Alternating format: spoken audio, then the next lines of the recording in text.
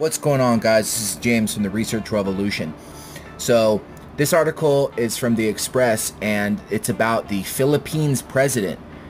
So he was at this speech in Davos, Davos City, Davos City, and he says F you to the EU.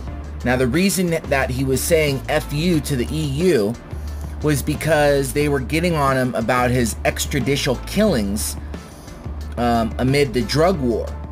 So this guy, Rodrigo Duterte, stunned reporters and officials when he responded to MEP's uh, MEP's condemnation of his government's anti-crime crackdown. It's brutal anti-crime crackdown, which has seen suspects summarily executed by police.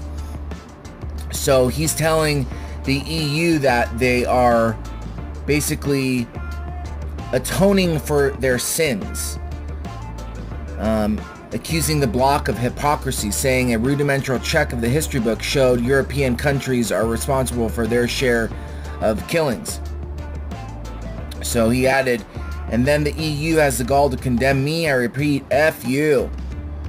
So, uh, there's over 2,400 people are estimated to have died in the past two months in the Philippines during a brutal war between police and drug gangs. Uh, Barack Obama has been on the receiving end of Duterte's foul-mouthed rants, being branded as a son of a bee for saying he would question the Philippines leader over his anti-drug campaign. So expect some sort of weather event to hit this guy in the Philippines